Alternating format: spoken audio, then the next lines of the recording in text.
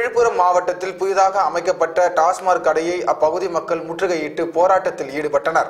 விழுப்புரம் மாவட்டம் திருக்கோவிலூர் அருகே உள்ள கனகனந்தல் சாலையில் புதிதாக அரசு டாஸ்மாக் கடையை கட்டி வந்தது இந்நிலையில் பலமுறை அப்பகுதி மக்கள் மதுக்கடையை அமைக்கக்கூடாது என பல கட்ட போராட்டம் நடத்தப்பட்டது இன்று மீண்டும் மதுக்கடையை முற்றுகையிட்டு ஆர்ப்பாட்டத்தில் ஈடுபட்டனர் இதில் இருபதற்கும் மேற்பட்ட பெண்கள் திடீரென சாலை மறியலில் ஈடுபட்டனர் உடனே தகவல் அறிந்து வந்த திருக்கோவில் உதவி காவலர் அன்பழகன் ஆர்ப்பாட்டத்தில் ஈடுபட்டவர்களிடம் பேச்சுவார்த்தை நடத்திய பின்னர் போராட்டக்காரர்கள் கலைந்து சென்றனர்